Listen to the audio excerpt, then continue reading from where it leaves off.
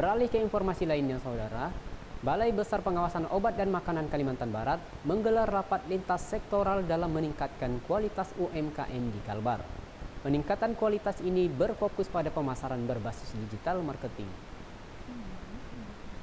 Dalam mengupayakan peningkatan usaha mikro kecil menengah di Kalbar, Balai Besar Pengawasan Obat dan Makanan menggelar rapat lintas sektoral Rabu siang 10 Juli 2024.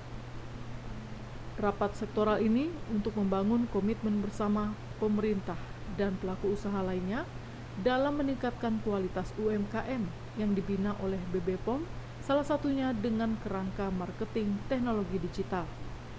Teknologi digital merupakan tantangan ke depan para pelaku usaha, baik UMKM berbasis pangan, kosmetik, dan obat tradisional dalam menawarkan produknya dengan regulasi dan keamanan tepat sehingga mutu terjaga di tangan konsumen.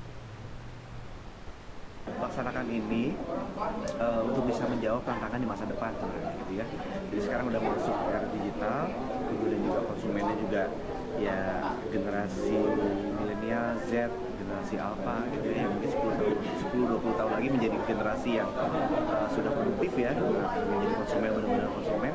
Nah, tapi mereka juga kan native teknologi gitu. Nah, maka kita perlu uh, mendekatkan pasar itu kepada konsumennya. Bagaimana cara mereka mendapatkan barang, gitu ya.